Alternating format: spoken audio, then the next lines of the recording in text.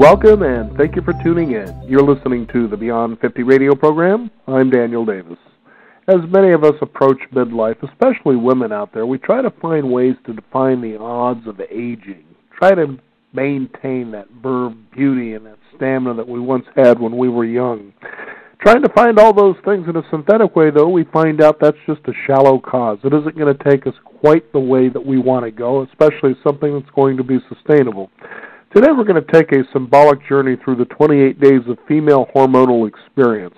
I know as a man you think, well, how is he going to be able to pull this off? Well, that's why we bring guests on, so they can help us do that. And joining us here on the Beyond 50 radio program today is social healer and entrepreneur who has been tracking her cycle since 1998.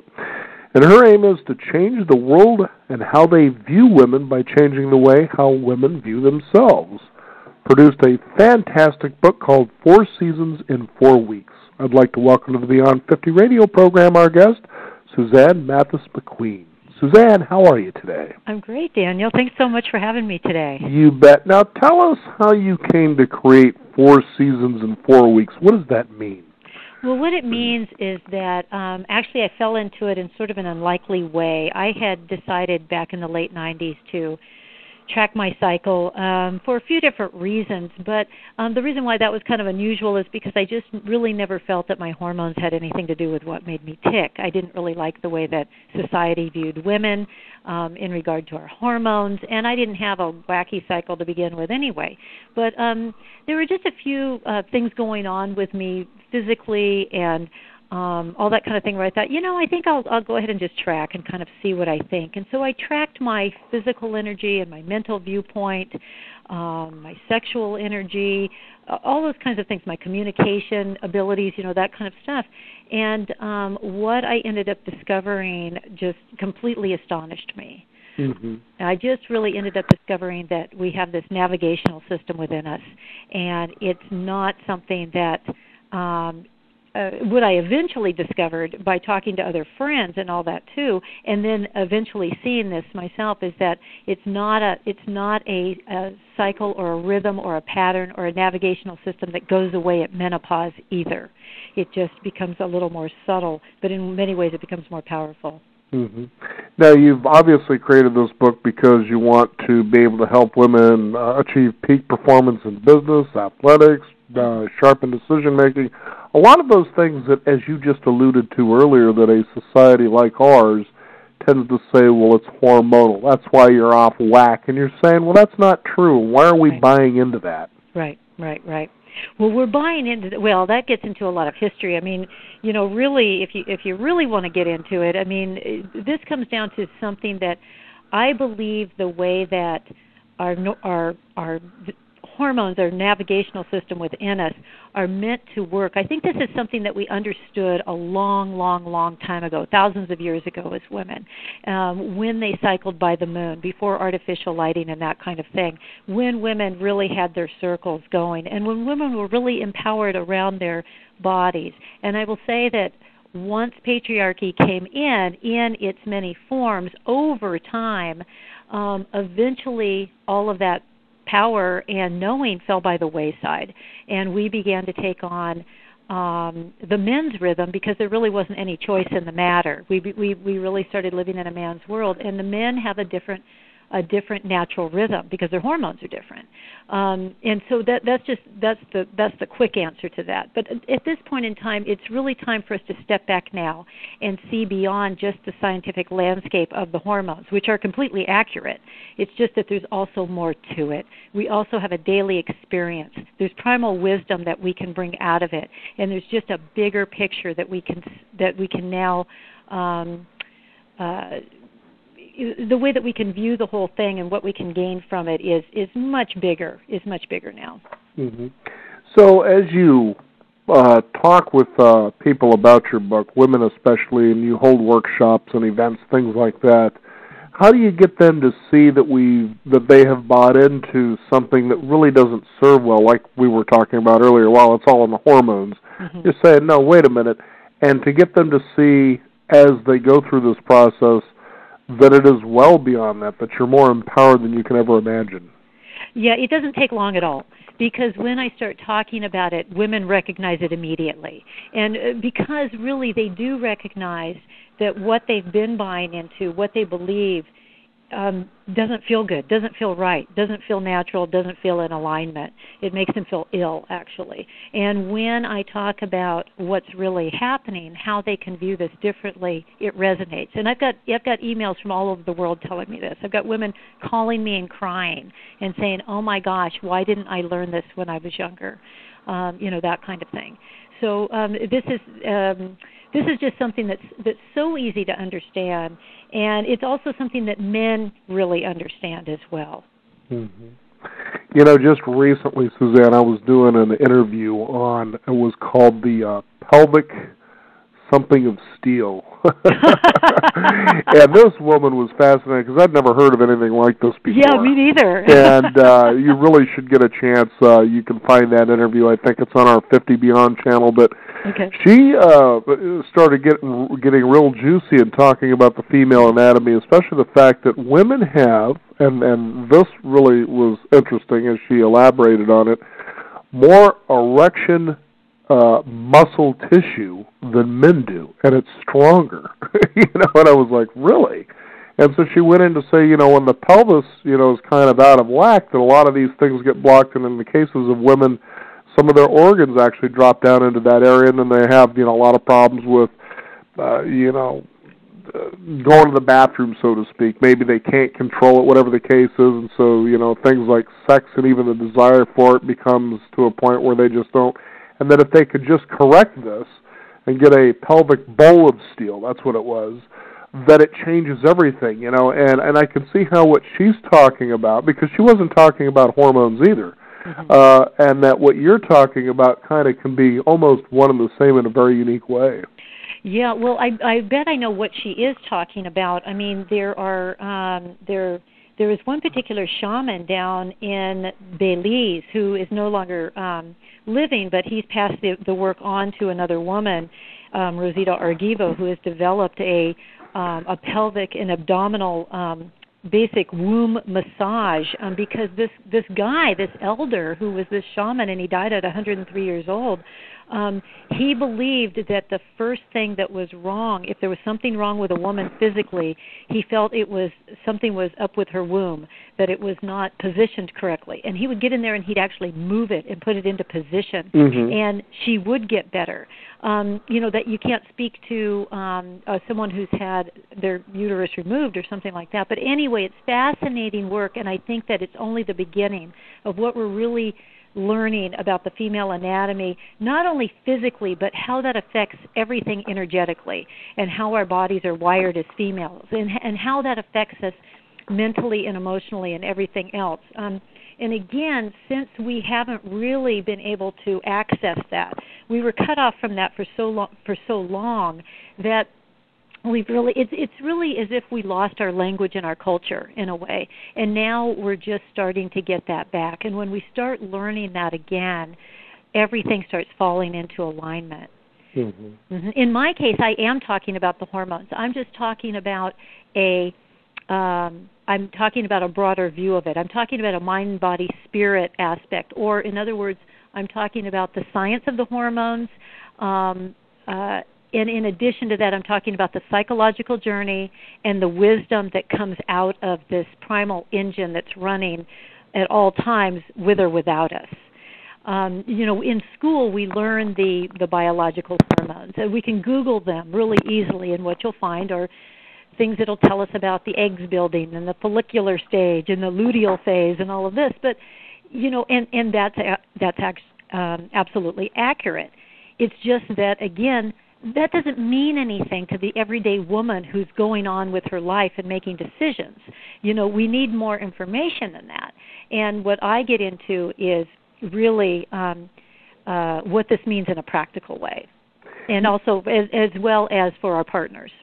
Now let's talk about the title of your book is Four Seasons in Four Weeks. Is that more or less literal? I mean, were you because I've looked through and read through the book and it's really very colorful, very artistically, you know, eye catching. But also very insightful about what you talk about when you kind of my feeling as I was reading through it is that that's what you do is to help people to reconnect to their natural biorhythms, and that's a little bit different for everybody, isn't it?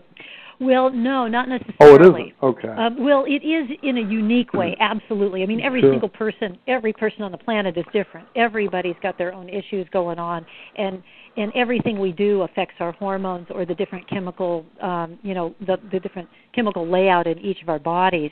But it, it as a broad template, no, we're really not all that different. For instance, um, let me explain it this way: um, what every every cycle in the universe has something that looks like um, uh, this basic layout. It's got a resting phase, a building phase, an expression phase, and a deconstructing phase, and back to rest. And we all, as humans, have that same those same four phases. Again, this is a real basic layout. So all of us, men and women both, have a 24-hour circadian rhythm. We have a 24-hour body clock, and we can see it by the fact that we sleep at night. That's our resting phase. We get up in the morning, and our organs start waking up, and our blood starts moving a little bit more, and that's our building phase. At some point, we peak in the in the afternoon, and then at night we wind back down, and that would be the deconstructing phase. And maybe we do that cycle a couple two or three times during the day because maybe we take a nap or something like that but what we um, what we end up finding is that um, we are rhythmic thinkers. We don't think anything about it because this is so natural for us. And what I mean by that is that we um, we generally um, choose to have coffee at certain times of the day and not others.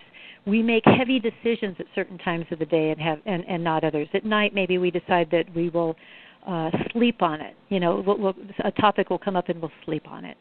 Um, there are different times that we we just do um, creative work and other times that we do physical labor you know when we work out. We make decisions not only around our work schedules but we we we make decisions based on our energy and that kind of thing. And men and women both do that and we don't think it's crazy. We don't think that we're changing our minds a lot.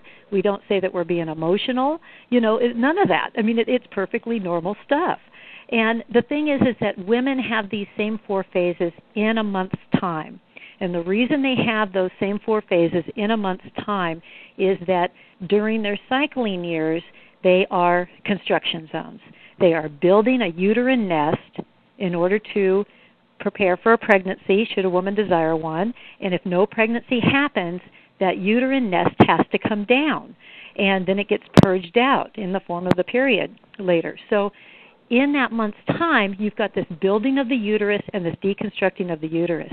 And if you think about this, Daniel, I mean, this is super duper radical stuff for a body to go through every single month. And not only every single month, but every single day, it's adjusting a little bit. Mm-hmm. No different than how we look at the moon phases. Um, it, it, it follows that lunar rhythm. And then men would have those same four phases. What researchers are finding is that men have those same four phases in a year's time. So, in other words, um, uh, like the seasons, and you you personally may not follow exactly the four seasons, but you would have your own four seasons. So every Mhm. um, three months or every 90 days, you'd have what would be thought of as more of a resting phase, and that's when your best ideas are coming in. You're sort of ruminating over lots of ideas that you have going on. You're just feeling kind of creative and and really in your head. And then the next 3 months, the next 90 days would be the building phase where you're acting on those ideas. Maybe you're building a business, maybe you're building a relationship. Um you know, you're taking action on things. And the following 3 months after that, the next set um of 90 days, you would be in your full expression. You know, now your business or whatever it is is a working machine, you're feeling great about it, maybe that relationship is going strong, you're all in love, everything's great. And then you hit the next phase, the fourth phase, which is the deconstructing phase. And what that means is that you've come upon some problems.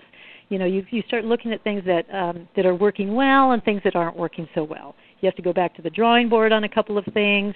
You may go through some depression. You may lose some direction, um, although that could happen in any of the phases and then you're back to rest again.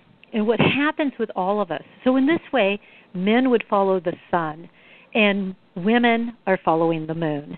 you know that is sort of our our our natural primal rhythm mm-hmm. is for women to be lunar rhythmic and men to be solar rhythmic.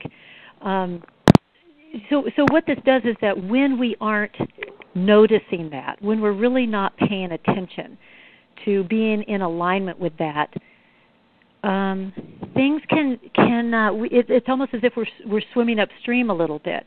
It's as if things aren't going well for us. When really, if we would just tap into those energies and understand which phase we're in and align with that, we have better understanding. And when we understand more about ourselves, we're much more forgiving. And um, you know, we kind of go with the flow, and we know that we're going to be in the next phase pretty soon, or we know which tools to bring in. And does it also help too to feel like you're not necessarily on autopilot, which I think a lot of times, especially this day and age with technology, a lot of us tend to be like in a trance, oh, you know, oh, reactive. Yeah. Well, that's a really I've never heard anybody say that and you were so right on. That is such a brilliant thing to say. It's it's really a great observation because it's absolutely true. Yeah.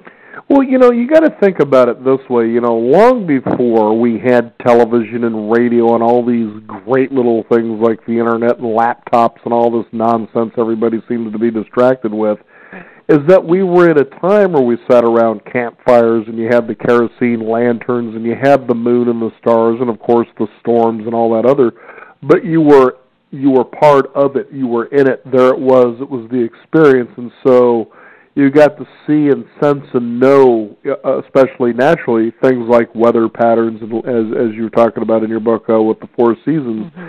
and you see today that we've disconnected from all of that. And because of that even in the rhythm of language, just simply talking with someone, you see a big disconnect. And now we're throwing out acronyms and, you know, LOL and all this other kind of nonsense. And you think, you know, how good could this possibly be for us? I would think it would almost accelerate the aging process in many ways that is very unnatural. accelerate the aging and, and accelerate the uh, the stupidity. I think. Yeah.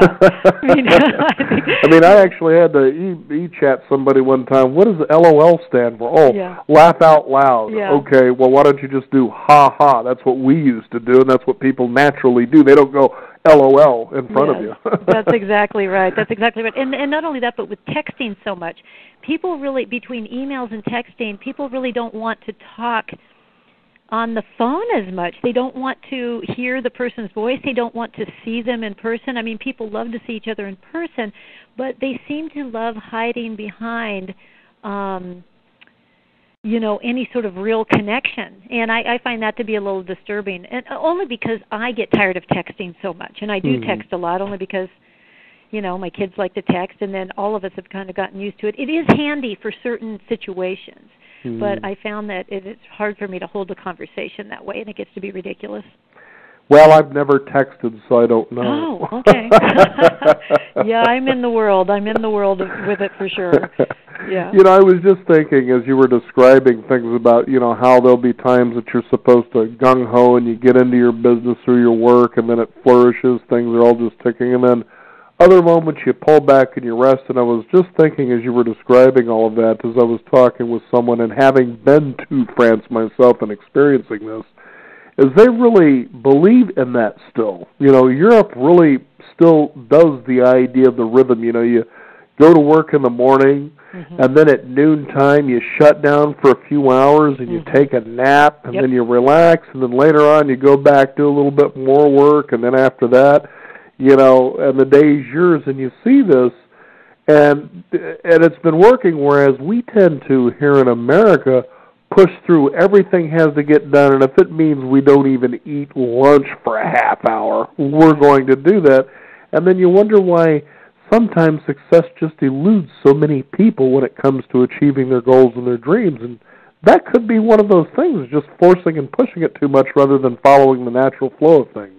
Yeah, that's beautifully put. I agree, and and I think um you know, the more that we sit up with artificial lighting, the more that we sit at the computer screen late into the night, all of that kind of stuff. It it it messes with our signals. And I'm sure I mean our bodies are so amazing. Our our brains are um such powerful computers and I know that it adjusts to a certain extent, but ultimately it cannot be healthy and I do think it accelerates the aging and the stress process. Yeah. Now, how is the best way when somebody gets this book uh, for them to use it? Do they just dive right in from page one through, or because as I've noticed, I can skip around to different things and they seem to stand on their own. Yeah, thank you. Yes, it can be one or the other. Um, uh, for sure, they could just jump in, open the pages, and start reading something and see see what jumps out at them. It's meant to be read from the beginning to the end, but I also have a page in there that says you can read this a variety of ways. And it is a color coded book. So if someone wants to just get in and read about these four phases the resting, building, expression, and deconstructing phase, um, which I call week one, week two, week three, week, week four, or fall, winter, spring, and summer. Um, then they can they can go to the color coded pages and look at them that way. And by the way, let me just say really quickly, if we don't get a chance to dive into these four weeks, they can go to my website and pick up a free poster that maps out these four phases for them. It's a free download, and uh, they'd either have to print it out or just have it on their computer, but it would give them a chance to take a look at that as well. Interesting, interesting stuff. Now, this book was written for all women, right?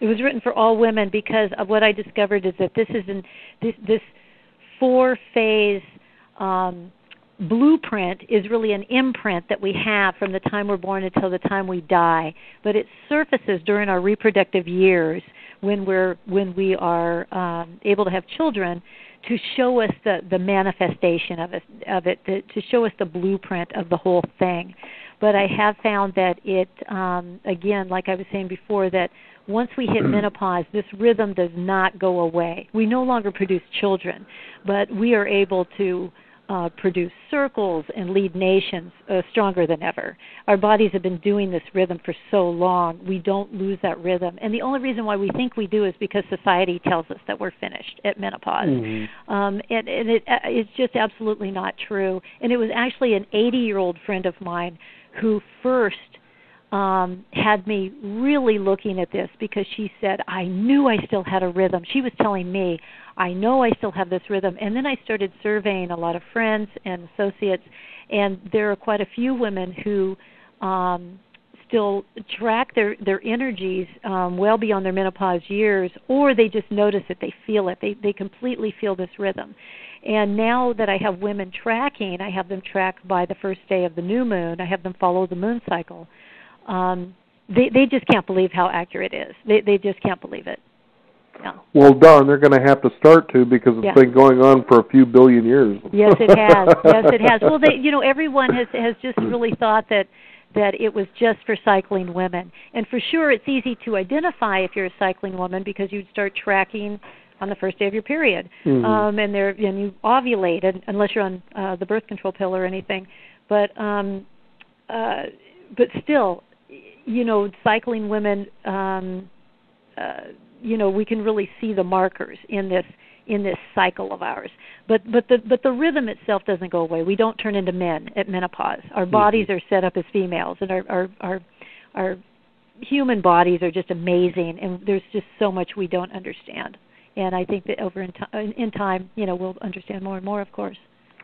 Now, as you brought up PMS, that's certainly one of those big jokes that are out there a lot of times. Well, you know, she's PMSing again. Mm-hmm. Okay. Mm-hmm. So let's go ahead and bring that up to the forefront here for our male listeners out there, and there's a lot of them there, I see them, mm-hmm. is how do you suggest to men to, I guess, roll with the punches, for lack of a better word, when their partner is in the PMS cycle? If well, you will. First of all, I do have in the book itself. I have what I call a man guide. At the end of these, at the end of these, does it come with a man bag, or it's just the man guide itself? it's just, it's okay. just they they'd have to get their own bag with the book, yeah, you know that kind of thing, their own purse. But um for sure I talk to the men about each of these phases because when they really understand these rhythmic phases, they finally get that fourth week. And I get rid of the idea of PMS altogether because um, unless a woman is really, really suffering with some bad symptoms, um, otherwise, it's not a syndrome at all. Uh, and the easiest way for me to explain it to would be to be able to go through the four phases quickly and show mm-hmm. the men how they fit into each of those. Yes, please. Okay. So w- what we have here is is what we, what you have to keep in mind is that my work is really about showing how one week prepares for the next. Again, we've got that uterine nest that's building and then deconstructs. This is one complete cycle. It's not separate, you know, these phases aren't separate and independent of each other. One week prepares for the next. So that first week, what happens is the resting phase. I identify it with fall because you can think of it like red leaves falling from trees. Um, it's harvest time. It's like the fall in that way. It's it's ending a former cycle, and that's exactly what's happening with the women. Right here in that first week, um, for the cycling women, this is the day that the first day of it is when they would be starting their period. So they're shedding that uterine lining from the former cycle. And what happens is that our hormones, biologically, scientifically, are at their lowest. And what this is telling us to do in a practical sense is to lay low. We need to be resting during this time. And women are not resting enough. And when women are not resting, it's no different than you or I not sleeping at night. Um, you know, and I don't know about you, but um, for me to lose a night of sleep, it had better be a good party, you know. Right. And and if I lose two nights of sleep, forget it. You know, I'm a, I'm just trashed. I'm trashed for days. And it it, it just says it just would set me up in a very bad way. So when women aren't sleeping, when they aren't resting during this time, it's setting up the rest of their month in a as a disadvantage. Now, it doesn't mean that they can't go to work. It doesn't mean that they can't run the marathon that they've already scheduled to do. You know, they're not ill, although they might not feel all that well. But what it means is that it's it's time to be mindful. After work, do not stop and do that extra errand um, after the marathon, don't go out for pizza and beer. It's really time to be resting and knowing where you're at. And what our male partners can do, well, what our partners in general, um, I just let me just throw in for those who have female partners, women who have mm-hmm. female partners, don't really have the same challenges um, that that the the straight women have who have male partners, because the women who have women partners already understand the vulnerability of having a cycle right. and you know but but the women with the male partners have partners who don't understand and the best thing that a guy can do during this time is to encourage the woman in his life to relax and take it easy. And for him to make dinner or bring dinner home or take care of the kids, really encourage her to rest. And um, you know, well, geez, Suzanne, time. I guess I can understand why I can't experience that rage of PMS that everybody's joking about with my own wife because I cook all the time. Yeah, well, see, that's a good, that's a, that's an excellent thing. I, I don't always, even see it happening. you know, I've always, I've always had men, I've always had men in my life who cook. I love that, and uh, um, but the, but we're talking about the first week here. We're not talking about PMS right. here. I know, know I'm running. yeah. I'm running way ahead of the game. I'm ready to solve the problem. That's what men do. Yeah. Okay. Well, so here's the thing: is the, the solving the problem starts with the first week. Okay. Solving the problem starts with the first week, the second week, and the third week. But solving the problem doesn't happen in the fourth week.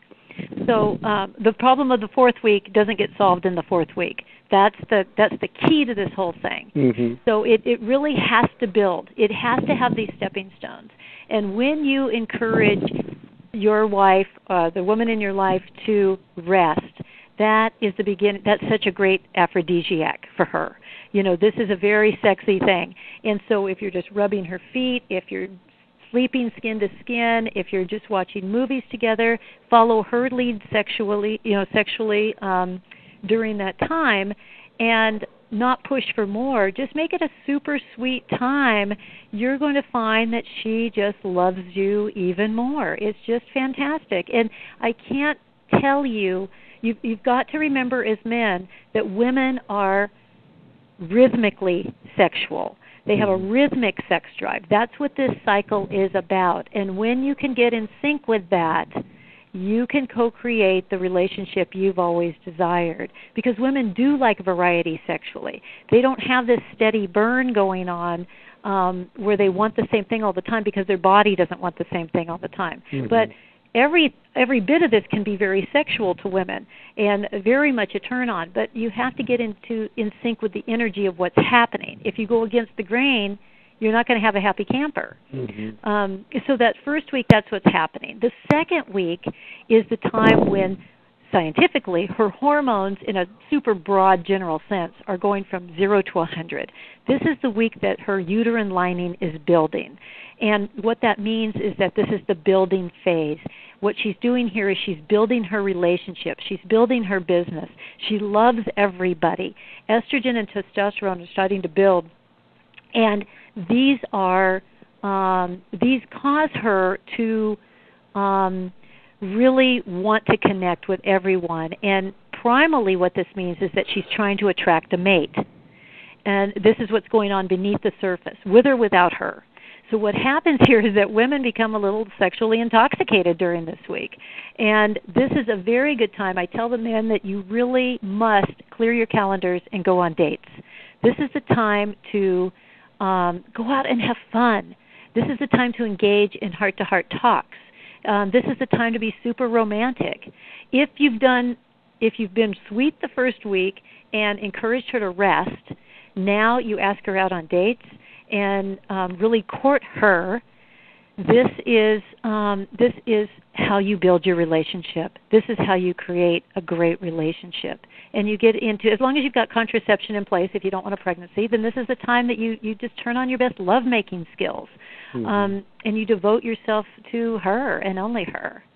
When you get into that third week, and that's and and um and that week would also identify with the um I call that winter. It's like you see a mountain where you're you start at the bottom and you climb to the top. That's what that's like. And it's it also equates to the waxing moon. It's a building of the light, building of the moon. Mm-hmm. So the third week you'd equate to the full moon. The the first day of it starts with ovulation and ovulation is the queen bee of the entire operation. I mean, you know, it's the reason those other 27 days happen. Ovulation is um, the most primal and the most spiritual thing that happens in the universe, as far as I'm concerned.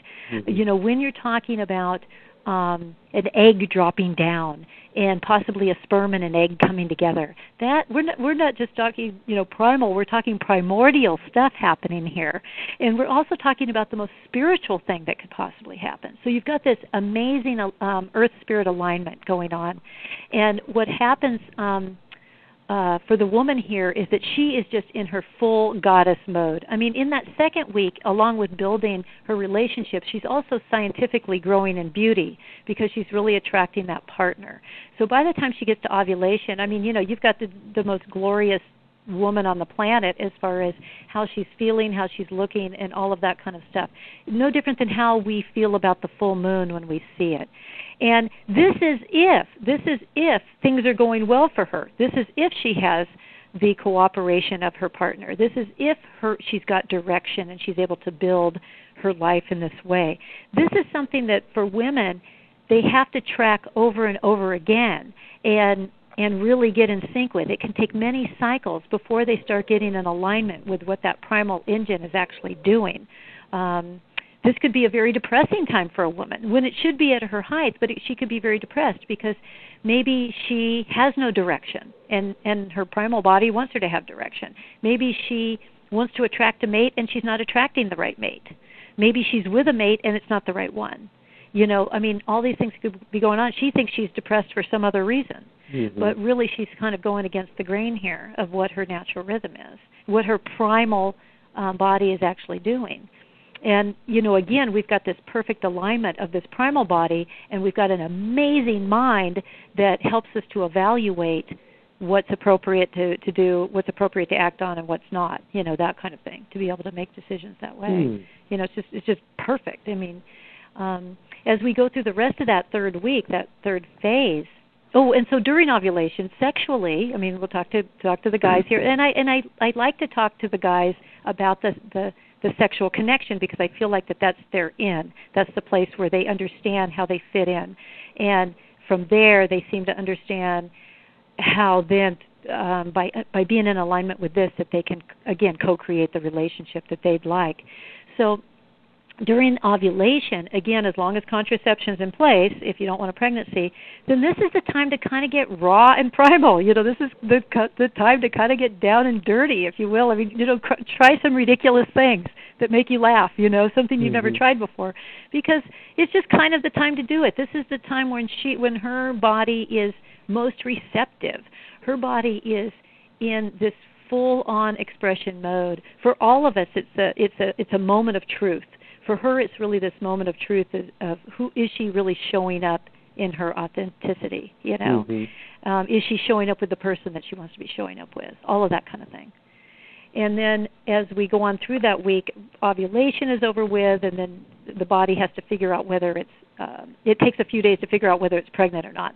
So in that time, for for a couple, it's she's still sitting high on her throne with her hormones, and so it's kind of sort of this king and queen mode of sort of looking out over the land and knowing how to how to uh, take care of business. And and really it's a perfect time for mind to mind talks between couples. It's a time to talk about the kids or your money or where you're living or how are the jobs going you know all of that.